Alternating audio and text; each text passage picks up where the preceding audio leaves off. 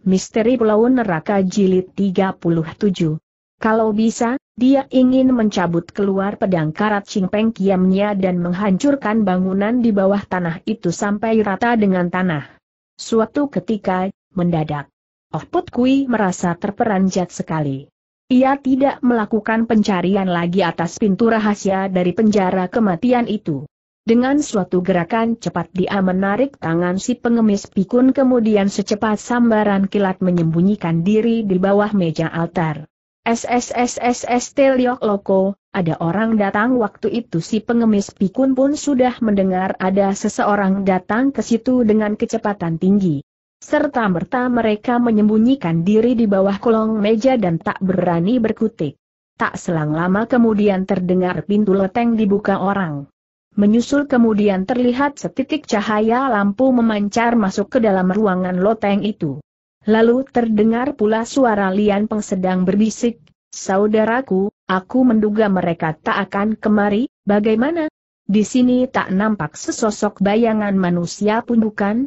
Aku rasa saudaraku kelewat banyak curiga, dengan suara agak sangsi Kubunwi segera berkata tapi Nona Lian, sudah jelas aku memperoleh laporan rahasia, setelah berhenti sejenak, tiba-tiba dia berseru lagi dengan terperanjat, Nona Lian, mungkinkah mereka telah berhasil menemukan pintu masuknya tiba-tiba Lian Peng tertawa, penjara kematian ini dibangun secara kuat dan penuh kerahasiaan, bagaimana mungkin mereka dapat menemukan pintu rahasia tersebut?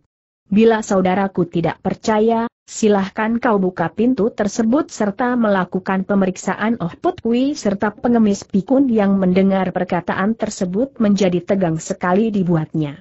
Mereka sangat berharap Kubun Wi dapat segera membuka pintu penjara tersebut secepatnya. Sayang sekali Kubun Wi segera menyaut. Nona Lian, aku rasa tak usah diperiksa lagi, Bayangkan saja si kakek kelatah awet muda Ban Siktong pun dapat tersekap di situ, apalagi yang mesti kita takuti dengan Oh Put Kui. Hanya saja. Tiba-tiba ia termenung sampai lama sekali dan tidak melanjutkan kembali kata-katanya. Tapi Oh Put Kui serta pengemis pikun yang menyadap pembicaraan itu menjadi terkejut sekali. Benarkah si kakek kelatah awet muda pun terkurung di bawah penjara kematian? Berita tersebut pada hakikatnya sukar runut, dipercaya dengan begitu saja. Mendadak Lian Peng sambil tertawa, Saudaraku, lebih baik kau buka pintu rahasia itu, mari kita turun ke bawah melakukan pemeriksaan, Kubunwi segera tertawa dingin, baiklah, andai kata Oh Put Kui dan si pengemis sialan itu benar-benar berhasil menemukan pintu rahasia tersebut, mungkin saat ini pun mereka sudah terkurung di dalam, kalau dilihat dari wajah mereka yang tersekap semua di situ, bisa ku bayangkan tentu menarik sekali, Lian Peng menambahkan sambil tertawa. Dalam pada itu Kubun Wit telah mengalihkan langkah menuju ke arah meja altar. Oh Put Kui serta pengemis Pikun Kontan saja merasa hatinya sangat tegang, sedemikian tegangnya sampai tenggorokan pun terasa amat kering. Mereka khawatir sekali apabila Kubun Wi menyingkap meja dan mengintip ke kolong meja tersebut.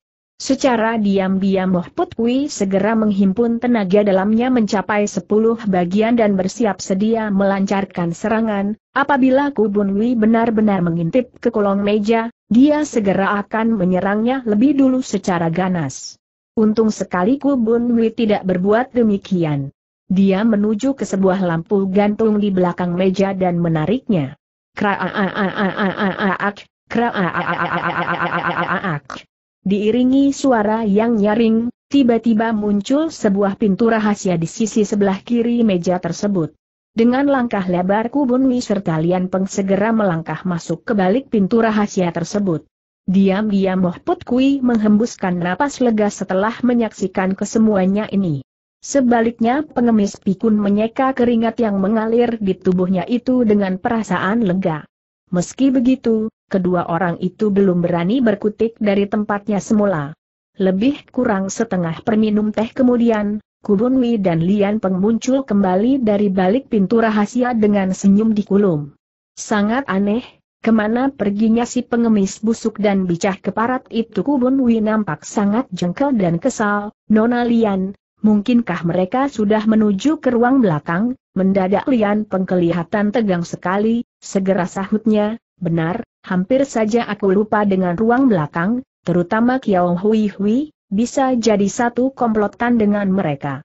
Bila Oh Put Kui pergi bertanya kepada mereka, bukankah semua rahasia yang tak ingin kita beritahukan kepada Xiao Xian akan terbongkar? Mereka tentu tahu kalau perbuatan kita yang mengatakan kakek Ban serta pengemis pikun telah pergi lebih dulu adalah pemberitaan bohong, sambil berkata dia segera lari menuju keluar ruangan. Melihat kepanikan yang melanda Lian Peng, cepat-cepat Kubun Wei berseru dengan lantang, benar, Nona Lian harus melakukan pemeriksaan ke ruang belakang, sedang aku akan melakukan pemeriksaan ke bagian kebun yang lain, Lampu lentera segera menjadi redup dan kedua orang itu telah beranjak meninggalkan tempat tersebut. Sepeninggal kedua orang itu, Oh Put Kui menghembuskan napas panjang dan segera merangkak keluar dari kolong meja. Pengemis pikun kelihatan sangat gembira. Katanya kemudian sambil tertawa. Lote, nasib kita benar bagus, dalam keputusasaan ternyata mereka muncul di sini sambil memberi kesempatan baik kepada kita untuk bertindak. Liok Loko, kau jangan keburu merasa gembira, siapa tahu kalau perbuatan mereka ini hanya suatu perangkap kata Oh Put Kui sambil tertawa. Apa pengemis pikun? Tertegun. Kau maksudkan? Oh Put Kui memandang sekejap ke arah lampu gantung itu kemudian katanya sambil tertawa, Liok Loko, sekalipun hal ini merupakan sebuah perangkap, namun kita tetap akan menerjangnya, aku lihat sudah tiada jalan lain lagi buat kita, Lote, apakah kau menganggap secara yakin bahwa semuanya ini merupakan perangkap yang sengaja mereka atur tanya pengemis pikun dengan wajah tertegun. Tampaknya pengemis pikun ini pun telah berhasil menebak keadaan yang sebenarnya secara samar. Siapa bilang tidak mungkin kata Oh Put Kui sambil tertawa, siapa tahu kalau mereka sesungguhnya tahu kalau kita sedang bersembunyi di bawah kolong meja? Kalau tidak, mengapa mereka tidak melakukan pemeriksaan di seluruh ruangan loteng ini tidak benar jika kau berkata demikian, seru pengemis pikun sambil tertawa, Lote, Andai kata mereka tahu kalau kita bersembunyi di sini, mengapa pula mereka harus membuka pintu rahasia tersebut serta melakukan pemeriksaan di bawah penjara? Di sinilah terletak perangkap mereka, mereka ingin agar kita pun terkurung juga dalam penjara ini, kata Oh Put Kui sambil tertawa. Mendengar perkataan tersebut si pengemis pikun segera menggelengkan kepalanya berulang kali, serunya cepat, Omong kosong, masa mereka dapat mengurung dirimu Oh Put Kui menghela napas panjang, mungkin juga penjara tersebut benar-benar dapat mengurung kita, kalau tidak mengapa sampai sekarang belum juga kita peroleh kabar berita dari Bantua berubah hebat paras muka pengemis pikun setelah mendengar perkataan itu. Cepat-cepat dia mundur sejauh tiga langkah ke belakang, kemudian serunya, Lote, kalau memang tempat ini merupakan sebuah perangkap yang disediakan untuk menjebak kita, lebih baik kita tak usah memasukinya, tidak, kita harus memasukinya, kata Oh Put sambil tertawa, Loko, lebih baik kau tetap berada di atas, sambil berkata dia segera menekan lampu gantung di atas dinding. Diiringi suara gemuruh, pintu penjara itu segera terbuka lebar. Mendadak pengemis pikun menyelinap lebih dulu ke dalam pintu rahasia itu seraya serunya Lote, biar harus mengorbankan jiwa, aku si pengemis tetap akan menemanimu, tidak usah, tukas sohput kui dengan kening berkerut, lebih baik engkau tua menunggu di atas saja, dengan begitu kita bisa saling bantu-membantu, Lote, kali ini kau keliru besar, bila aku tetap tinggal di luar, mungkin keselamatan jiwaku jauh lebih terancam daripada mengikuti dirimu memasuki penjara kematian, oha, rupanya engkau tua khawatir tak mampu menghadapi kerubutan mereka siapa bilang tidak sahut pengemis pikun sambil melompat masuk ke dalam pintu rahasia. Kau anggap mereka tak dapat berbuat demikian terhadapku selesai berkata dia segera berjalan lebih dulu memasuki pintu rahasia tersebut. Terpaksa Oh Put hanya tertawa dan tidak banyak berbicara lagi. Setelah menuruni 17 tingkat undakan batu, Sampailah mereka di sebuah ruangan batu kecil yang gelap gulita tak nampak setitik cahaya pun. Di tengah ruangan hanya terdapat sebuah kasur untuk alas duduk orang. Pada muka ruangan terdapat sebuah pintu selebar beberapa depa, di balik pintu itu tampak setitik cahaya lampu memancar keluar, suasananya sungguh mengerikan hati. Dengan suatu gerakan cepat Oh Put Kui menyelinap menuju ke arah pintu tersebut. Ternyata di balik pintu itu merupakan sebuah ruang batu yang jauh lebih besar daripada ruang batu di depan. Di tengah ruangan itu terdapat sebutir mutiara besar, pada tiga bagian dinding ruangan, masing-masing terdapat tiga buah goa sebesar mangkuk yang tingginya tiga depa dari permukaan tanah. Gua itu gelap gulita sehingga tidak nampak sesuatu apa pun. Oh Put Kui memperhatikan sekejap keadaan di sekeliling tempat itu, Tiba-tiba serunya, Bantua, berada di manakah kau bentakan keras yang ditemukan di bawah ruangan ini benar-benar menghasilkan suatu dengungan yang keras sekali. Dengan perasaan terkesiap pengemis pikun segera berpikir.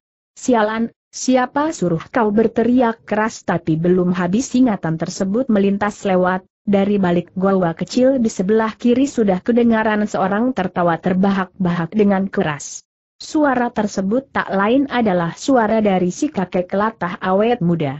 Anak muda kedengaran dia berseru, sudah kuduga kau pasti akan mencari sampai di sini. Oh Put Kui menjadi tertegun setelah mendengar suara itu, segera pikirnya, tampaknya kakek ini tidak tahu apa artinya duka, andai kata aku tidak kemari, sementara itu di luarnya dia segera menjawab, Bantua, Bo Ampo tidak menerima kalau kau benar-benar terkurung di sini. Mendengar itu kembali kakek kelatah awet muda tertawa tergelak, benar, aku memang terkurung di sini, sesudah berhenti sejenak, tiba-tiba kedengaran dia berseru lagi dengan suara dalam, Mana si pengemis sebelum Moh Putwi sempat menjawab, pengemis pikun telah menyahut dengan lantang, aku si pengemis berada di sini, Haaah, bagus sekali, seru kakek Kelata awet muda sambil tertawa tergelak, apabila kau tak berani memasuki penjara bawah tanah hari ini.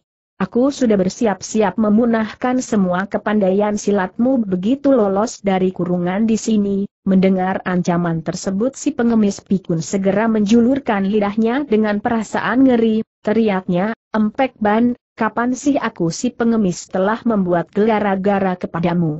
Masa kau berani? Coba bayangkan saja apakah aku mesti berpeluk tangan saja melihat seorang pengemis kecil macam kau hidup sebagai pengecut yang takut mampus. Baru sekarang pengemis pikun dapat bersyukur di dalam hati, untung saja dia nekat turut masuk ke dalam penjara bawah tanah, seandainya dia tetap tinggal di luar pintu rahasia tadi, sudah jelas dia tak akan terlepas dari tuduhan sebagai pengecut yang takut mati. Biarpun merasa terkejut di dalam hati, namun di luarnya dia berseru dengan penuh bersemangat, Empek Ban, siapa bilang aku si pengemis adalah seorang pengecut yang takut mati. Baru selesai dia berkata, kakek kelatah awet muda telah menyambung sambil tertawa, aku percaya kepadamu. Baru sekarang Oh Put Kui berkata sambil tertawa, Bantua, perlukah kubukakan tembok penghalang ini mendadak kakek kelatah awet muda tertawa tergelak,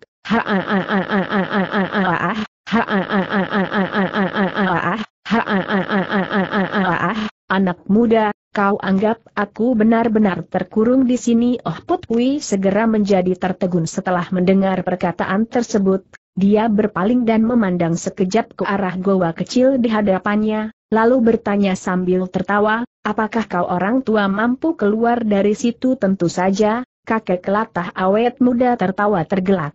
Kalau cuma dinding batu setebal tiga depa pun sudah dapat mengurung diriku, buat apa orang menyebutku sebagai situaban yang serba tahu dan serba bisa kalau toh kau orang tua tidak tersekap, mengapa tidak segera keluar dari sini tanya Seng pemuda kemudian sambil tertawa.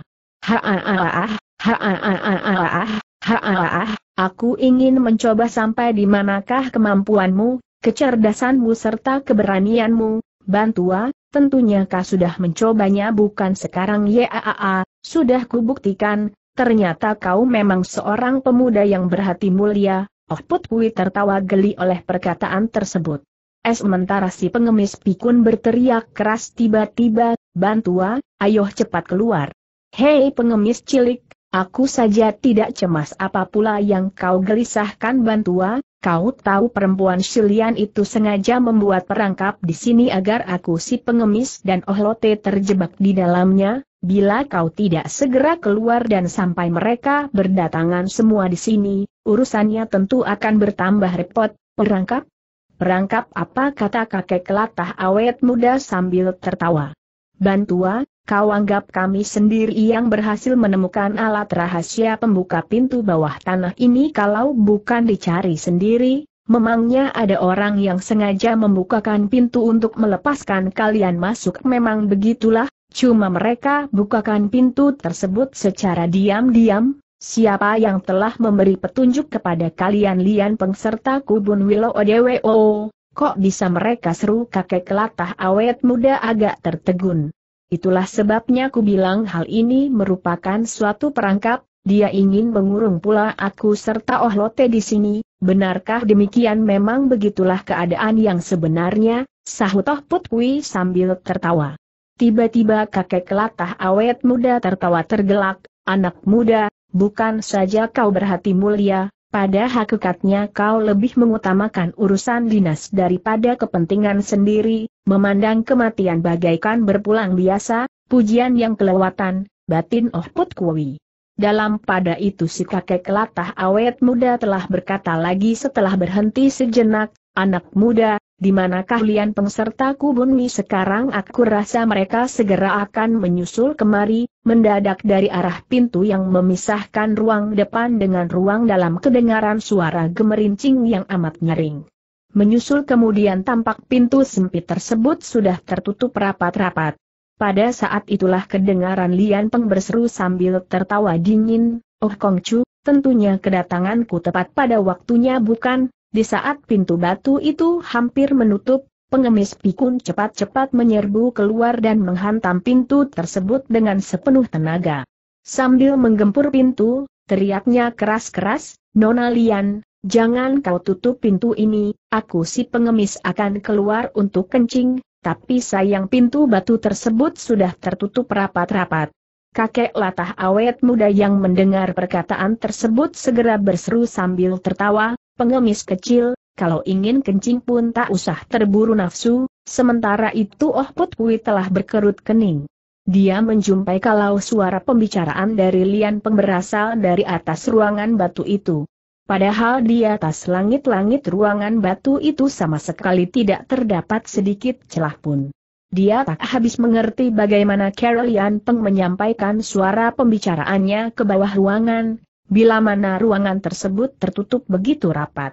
Setelah termenung sejenak, Oh Put Kui segera berkata sambil tertawa tergelak, Bibilian, beginikah caramu melayani tamu Lian Peng tertawa terkekeh-kekeh, Oh Kongcu, saat ini kau sudah bukan merupakan tamu agung gedung kami lagi, untuk berhasil menemukan dari manakah sumber suara dari Lian Peng tersebut, Tentu saja Oh Put Kui tak ingin memutuskan pembicaraan antara mereka dengan begitu saja, mendengar perkataan tersebut ia segera berkata sambil tertawa tergelak, Bibilian, jadi kau yakin kalau aku tak sanggup keluar lagi dari sini? Ya a pada hakikatnya kau memang tak bisa keluar lagi dari situ, dalam waktu singkat Oh Put Kui telah berhasil menemukan sesuatu titik terang tapi dia belum berani memastikan 100%, maka kembali ujarnya sambil tertawa, Bibi Lian, adik Xiao Xian tentu akan menanyakan persoalan ini kepadamu.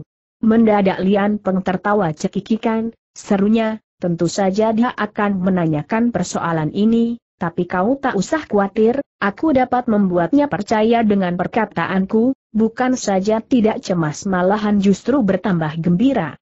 Jawaban apakah yang hendak Bibilian sampaikan kepada adik Xiao Xian sehingga membuatnya merasa gembira? Lian Peng tertawa, Oh Kongcu, sebenarnya aku tak ingin menjawab pertanyaanmu itu, tapi berhubung kau memang tak bisa keluar lagi dari penjara kematian untuk selamanya, baiklah akan kuberi kesempatan kepadamu untuk bertanya sampai jelas, Sementara itu si pengemis pikun sudah berapa kali ingin mencaci maki lawannya, tapi niat tersebut selalu berhenti dicegah oleh Oh Put Kui, sebab dia menganggap segala umpatan tersebut sama sekali tak ada manfaatnya. Di saat Lian Peng berhenti berbicara, Oh Put Kui segera berseru lagi, Bibi Lian, kau memang berbesar jiwa, Lian Peng tertawa dingin, terhadap seseorang yang sudah tak punya harapan lagi untuk hidup bebas, Aku memang perlu berbesar jiwa, sejenak kemudian dengan suara yang lebih lembut dia berkata kembali, Oh Kongcu, akan kukatakan kepada anak Sian bahwa kau bersama kakek kelatah awet muda dan pengemis pikun telah pergi lebih dulu, dia tentu akan percaya dengan perkataanku ini, Oh Put Kui segera berpikir, bisa saja dia berbuat demikian, ketika Lian Peng tidak mendengar jawaban dari Oh Put Kui, dia segera berkata lagi, Oh Kongcu, Tentunya kau mengakui bukan kalau perkataanku ini tepat sekali? Tapi aku rasa alasanmu itu tak akan bisa mengembalikan hati adik Xiao Xian, Lian Peng segera tertawa.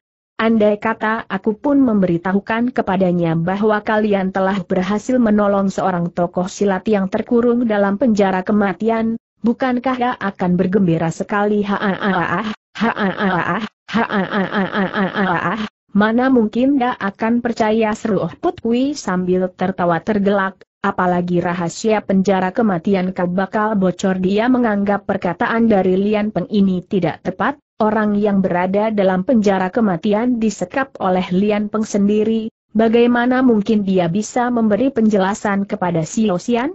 Tapi Lian Peng segera tertawa terkekeh-kekeh sambil katanya, Asalkan kulimpahkan semua tanggung jawab kini kepada mendiang suamiku, anak Sian pasti tak akan menaruh curiga lagi, mau tak mau Oh Put Kui harus mengakui juga akan kelicikan serta kecerdikan perempuan ini. Seandainya dia benar-benar berkata demikian, Nyo Xiao Sian pasti akan percaya penuh dengan perkataannya. Dalam pada itu Oh Put Kui telah berhasil pula membuktikan bahwa apa yang diduganya memang benar. Ternyata suara pembicaraan dari Lian Peng disalurkan melalui balik tirai besi di antara mutiara yang berada dalam ruangan, bahkan bisa jadi di balik tirai besi itu terdapat sebuah lubang kecil yang dapat dipakai untuk mengintip keadaan dalam ruangan tersebut. Setelah termenung sejenak, tiba-tiba dia berkata lagi sambil tertawa, Bibi Lian, semua perhitunganmu cukup membuat aku kagum, hanya sayang kesalahanmu yang terbesar tak pernah terpikirkan olehmu, aku tidak percaya kalau aku telah melakukan kesalahan kata Lian Peng sambil tertawa dingin. Bibi Lian, kau harus tahu penjara kematian ini tak akan mampu mengurung kami seru seng pemuda sambil tertawa. Baru selesai perkataan itu diutarakan, Lian Peng tak bisa menahan diri lagi untuk tertawa tergelak, Oh Kongcu, bagaimanakah kemampuanmu bila dibandingkan dengan kemampuan Ban Sik Tong? Tentu saja tak bisa ditandingi, Bantua merupakan seorang tokoh persilatan yang luar biasa, itulah dia, bahkan Ban Sik Tong pun terkurung di sini. Belum habis perkataan itu diutarakan kakek kelatah awet muda telah berseru sambil tertawa tergelak, Budak Lian, kau tak usah mengigau lebih dulu, Sebetulnya aku masih ingin berdiam beberapa lama lagi dalam ruangan yang kau sebut sebagai penjara kematian ini, tapi berhubung aku mendongkol setelah mendengar ejekanmu ini, maka terpaksa aku akan keluar lebih awal. Begitu selesai berkata, mendadak terdengar suara bentakan keras berkumandang dalam ruangan. Sementara Oh Put Kui masih tertegun, Dinding batu setebal tiga depa itu sudah retak sepanjang beberapa kaki dengan lebar beberapa depa. Kemudian disusul kakek kelatah awet muda pun menerobos keluar dari situ. Oh Put segera mendengar jeritan kaget dari Lian Peng bergema tiba. Bagaimana anak muda terdengar kakek kelatah awet muda berseru kepada Oh Put sambil menepuk bahunya, aku tidak mengibul bukan Oh Put Kui tertawa, Sejak tadi Bo Ampu sudah percaya kakek kelatah awet muda segera mendongakkan kepalanya, lalu berseru sambil tertawa tergelak, Hei budak, apakah kau masih berada di situ tentu saja tidak ada. Di saat kakek kelatah awet muda menjebol dinding tadi, Lian Peng sudah kabur terbirit-birit karena ketakutan. Bantua, dia sudah lari ketakutan seru Oh Put Kui kemudian sambil tertawa. Anak muda, aku. Rasa. Dia. Bukan. Lari. Karena ketakutan. Empek tua, kau anggap apa yang sedang dilakukan Lian Pengtanya pengemis pikun tertegun. Tentu saja mencari akal jahat lain untuk memendam hidup-hidup kita semua di sini, mati tertimbun paling tak enak, bantua, lote, ayo cepat kita kabur dari sini, teriak pengemis pikun ketakutan.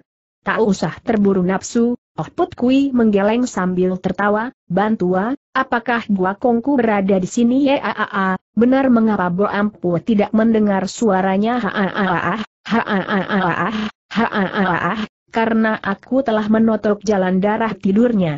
Mengapa begitu si tua aneh silan ini kelewat berangasan? Aku khawatir setelah lolos dari sini nanti kelewat banyak membunuh orang, oleh sebab itu mau tak mau aku harus menotok jalan darah tidurnya lebih dulu, apalagi aku pun tak tega membiarkan dia tahu dengan metu kepalanya sendiri bagaimana dirinya ditolong orang. Oh Put Kui bukan orang bodoh, dia segera mengerti bahwa di balik kesemuanya ini tentu ada hal-hal yang tak beres. Maka sambil tertawa hambar katanya, Bantua, apakah gua kongku telah mendapat musibah anak muda kau memang cerdik sekali, puji kakek kelatah awet muda setelah tertegun sejenak. Oh Put Kui merasa amat terperanjat, cepat-cepat dia berseru, Bantua, luka apakah yang diderita dia orang tua tiba-tiba kakek kelatah awet muda menghela napas panjang, kakek keluarmu telah dibelenggu tulang pait pakutnya oleh Witian yang dengan rantai tembaga yang terbuat dari baja berumur selaksa tahun, akibatnya meskipun memiliki ilmu silat yang tinggi namun tak dapat digunakan, jadi ilmu silat yang dimiliki Gua Kongku telah punah tanya Oh Put dengan perasaan ngenes. Siapa yang mampu memunahkan ilmu silat dari si tua aneh silan? Anak muda, kakek keluarmu hanya terluka pada Goan Hinya, Asal beristirahat barang 10 hari sampai dengan setengah bulan, kesehatannya tentu akan pulih kembali. Oh Put Kui baru merasa lega setelah mendengar perkataan ini, katanya kemudian, kalau begitu biar Bo Ampu masuk ke dalam untuk membopong keluar dia orang tua.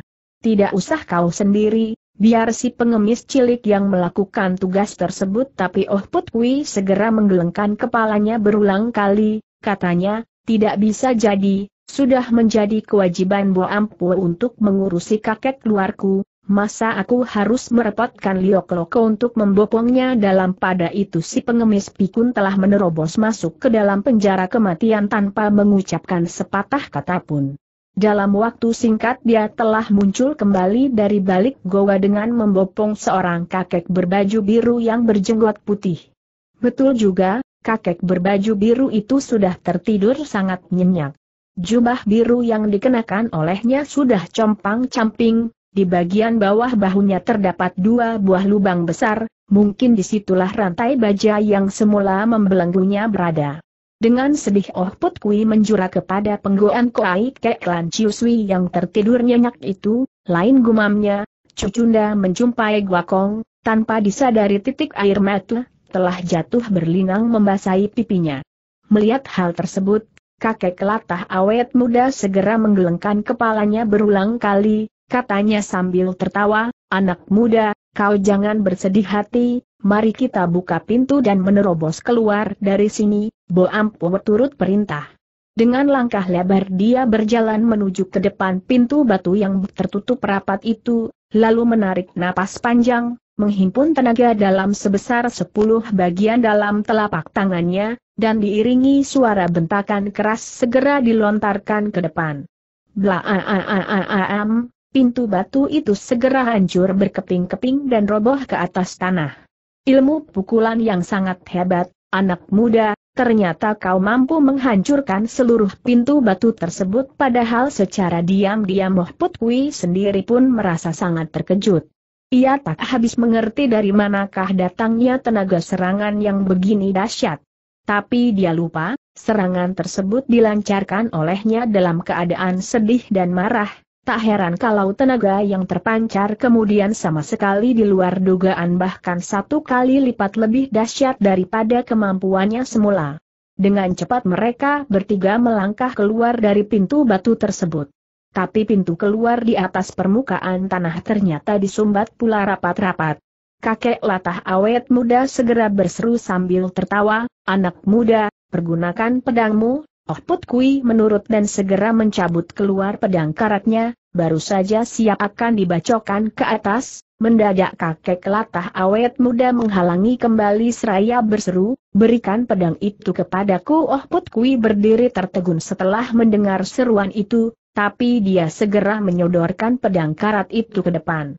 Setelah menerima pedang tersebut, kakek kelatah awet muda baru berkata sambil tertawa tergelak, anak muda, tahukah kau apa kegunaan pedang yang kupinjam ini? Oh Put Kui menggelengkan kepalanya berulang kali, biarpun Bo Ampu tidak tahu setepatnya namun masih dapat menduga, bukankah kau ingin menggunakan ketajaman pedang tersebut untuk membelah pintu tersebut, Kau hanya betul separuh anak muda seru kakek kelatah awet muda sambil tertawa.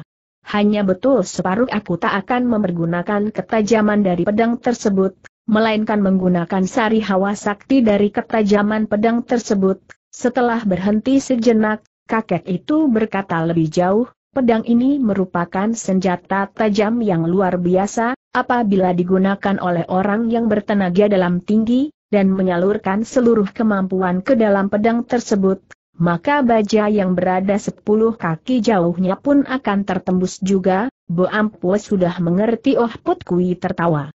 Apa yang kau pahami pintu batu yang tembus ke atas ini tebalnya mencapai berapa kaki? Kau orang tua tentu khawatir Bo Ampu tidak memahami rahasia tersebut sehingga membuang tenaga dengan percuma tanpa memberikan hasil yang nyata, Bukankah demikian ya memang begitulah, kakek kelatah awet muda tertawa.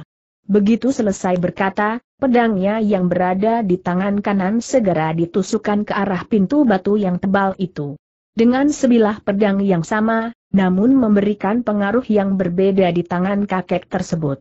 Oh Put Kui segera menyaksikan di saat ujung pedang karat Ching Pengkian itu hampir mencapai pintu batu itu, tiba-tiba menyembur keluar segulung hawa pedang berwarna hijau yang langsung menembusi batu tersebut. Ketika kakek kelatah awet muda mengerahkan tenaganya sambil memutar pergelangan tangan. Hancuran batu segera berguguran ke atas tanah bagaikan hujan gerimis. Secara beruntun kakek kelatah awet muda melancarkan tiga buah serangan berantai. Di atas pintu batu yang sangat tebal itu segera muncul tiga retakan besar yang membelah batu besar menjadi tiga bagian.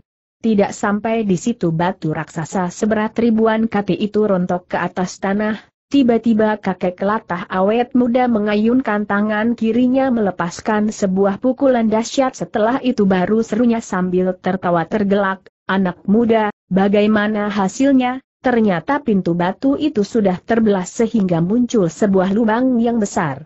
Sebaliknya hancuran batu yang terbelah oleh pedang tadi sudah mencelat sejauh dua kaki lebih oleh tenaga pukulan kakek kelatah awet muda, terbukti timbul suara gemuruh yang keras di atas permukaan tanah sebelah atas. Bantua, kekuatan tenaga pukulanmu benar-benar mengagumkan Bo Ampua, Puji Oh Put Kui kemudian sambil tertawa kakek kelatah awet muda tertawa terbahak-bahak, setelah mengembalikan pedang ke tangan Oh Put Kui, tanpa mengucapkan sepatah kata pun dia menerobos keluar dari pintu rahasia tersebut.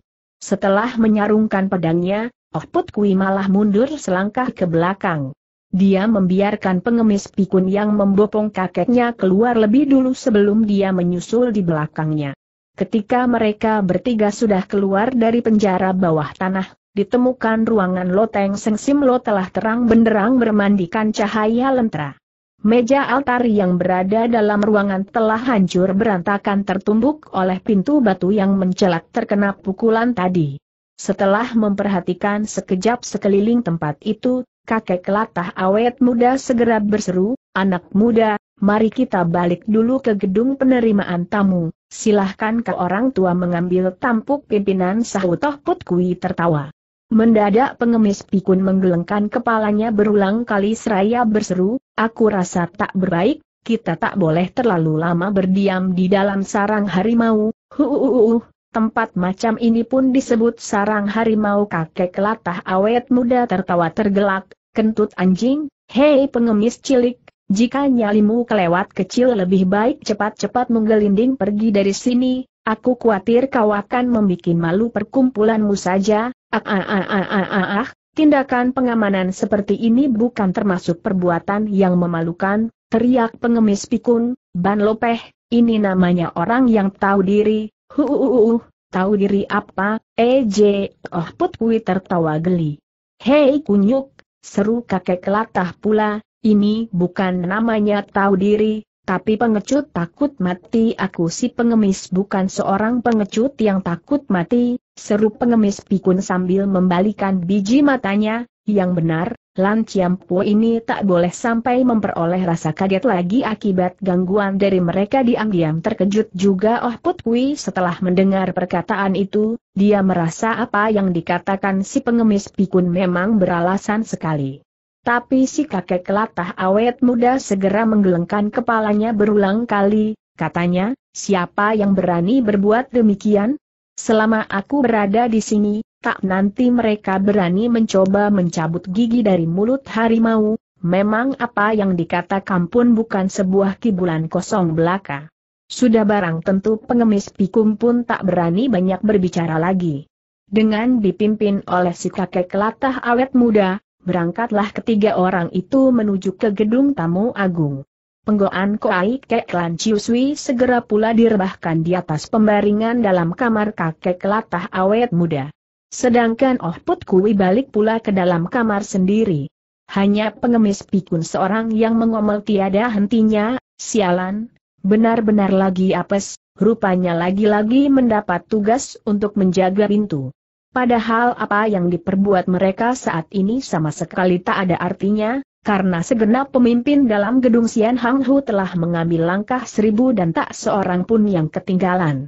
Yang masih tetap berada di situ hanya si kakek pencari kayu dari bukit utara serta si tukang ramal setan. Nyo Xiao Xian dan Kiao Hui Hui juga tidak pergi. Lian Peng tidak memberi kabar kepada mereka, dia pun tak berani mengabarkan kejadian tersebut kepada mereka. Oleh sebab itulah di saat Fajar telah menyingsing dan mereka berdua berniat memberi salam kepada Lian Peng, Baru saat itulah diketahui kalau Lian Peng sudah tidak berada di tempat. Nyo Xiao Xian sama sekali tidak merasakan sesuatu gejala yang tidak beres. Sebab di masa-masa lalu pun bibiliannya sering kali pergi meninggalkan rumah tanpa pamit. Berbeda sekali dengan Kiao Hui Hui, dia segera merasakan ada sesuatu yang tak beres. Adik Sian, demikian ia berkata kemudian, mari kita pergi menengok Oto Ako, Apakah dia masih berada di tempat? Pertanyaan ini serta-merta meningkatkan kewaspadaan Nyo Xiao Xian, dia tahu tentu ada yang tak beres dalam gedungnya. Betul Enci Kiao, sahutnya segera, apakah kau merasakan sesuatu gejala yang kurang beres? Kiao Hui Hui manggut-manggut, Yaa, aku khawatir kalau kepergian Bibilian secara mendadak ini ada sangkut pautnya dengan Oh Toako kalau begitu, mari kita segera berangkat, katanya Oh Xiao Xian dengan wajah berubah. Bagaikan hembusan angin, serentak berangkatlah kedua orang gadis itu menuju ke gedung tamu agung. Sungguh di luar dugaan ternyata persoalan yang dijumpai sama sekali berjalan lancar dan tanpa halangan. Tapi kejadian ini pun membuat Nyo Xiao Xian merasakan hatinya makin pedih dan menderita. Ia merasakan hatinya resah dan duka. Dia pun merasakan cekaman yang begitu besar dan mengerikan tentang asal-usulnya. Dan saat ini, dia seolah-olah merasa dirinya sudah menjadi putri Nyo Tianwi serta memperoleh cemoohan, hinaan dan caci maki dari umat persilatan.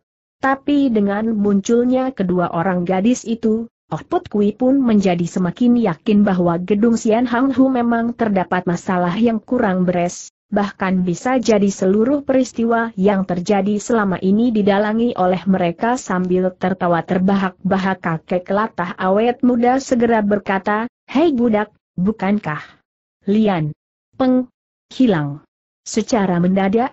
Betul, semenjak pagi tadi, tak seorang manusia pun yang berhasil kami jumpai sahut Kiao Hui Hui sambil tertawa getir. Kembali kakek kelatah awet muda tertawa, sudah ku ketahui sejak tadi, ia tentu sudah melarikan diri, sudah kau duga tanya Oh Put Kui tercengang. Ha-ah-ah, ha-ah-ah, ha-ah-ah, aku bukan cuma menduga, bahkan dugaanku amat tepat sekali. Demi keselamatan jiwanya sudah barang tentu Lian Peng tak akan berani bercokol dalam gedung lagi. Tapi mungkinkah dia kabur ke mana tanya Nyo Xiao Xian dengan perasaan kaget. Bagi pendapat Nyo Xiao Xian, kepergian Lian Peng tanpa pamit merupakan suatu peristiwa yang sukar dimengerti. Menurut pendapatmu dia bisa pergi ke mana kakek kelatah awet muda balik bertanya. Bo Ampu tidak tahu, hei budak, biasanya apakah dia? Seringkali. Pergi meninggalkan gedung. Betul, gadis itu mengangguk, Bibilian memang sering kali pergi meninggalkan rumah, tahukah kau ke mana dia pergi Nyo Xiao Xian berpikir sebentar, lalu jawabnya, agaknya suatu kali Bibilian pernah bilang hendak pergi ke Taitong, Taitong di Soase tanya kakek kelatah awet muda dengan kening berkerut. Betul wah tidak betul seru kakek kelatah awet muda sambil garuk-garuk kepala dan menggeleng berulang kali, Seharusnya dia mesti pergi ke Biao Hang San. Biao Hang San kembali Oh Put Kui tertegun. Kakek latah awet muda segera tertawa, anak muda, tahukah kau apa sebabnya aku mengatakan bahwa dia seharusnya pergi ke Biao Hang San Bo Ampuan memang ingin mohon petunjuk sebab di atas bukit Biao Hang San berdiam seorang manusia aneh dari dunia persilatan. Oh Put Kui tidak percaya, Mungkinkah di Bukit Biao Hong San berdiam manusia aneh dari dunia persilatan? Sambil tertawa segera ujarnya, Bo Ampun merasa kurang percaya anak muda, pernahkah kau mendengar tentang dua manusia aneh tertawa dan menangis setelah tertegun sejenak sahut Toh Put Bo Ampun pernah bersua dengan Tiang Xiao Sinang, kakek sakti tertawa keras, Beng Tim, Mungkinkah kakek Biang berdiam di atas bukit Biao Hang San yang banyak dikunjungi pelancong itu timbul perasaan tertarik dalam hati kakek kelatah awet muda? Setelah mendengar ucapan ini, dia segera bertanya, anak muda, kapan sih kau pernah bersua dengan si cebol Beng Bo Amput pernah bersua dengan mereka ketika berada di perkampungan Teng Mosan? Ceng kau pernah beradu kepandaian dengan si cebol si Beng itu belum pernah oh put kui menggeleng. Kakek latah awet muda segera tertawa tergelak, untung saja kau tidak mencobanya, kalau tidak kau benar-benar tak akan mampu berbuat apa-apa terhadapnya. Oh Put Kui tertawa hambar sesudah mendengar ucapan tersebut. Jadi kau tidak percaya tanya kakek latah awet muda sambil mendelik. Bo ampun mengerti kalau bukan tandingan dari kakek Beng, itulah sebabnya tak sampai bertarung dengannya, pemuda itu tertawa. Mendadak terdengar pengemis pikun yang berada di depan pintu berteriak. Lote, kau jangan kelewat merosotkan kemampuan sendiri. Tapi loko, aku toh tidak bertarung dengannya waktu itu, bantah Oh Put Kui. Siapa bilang tidak?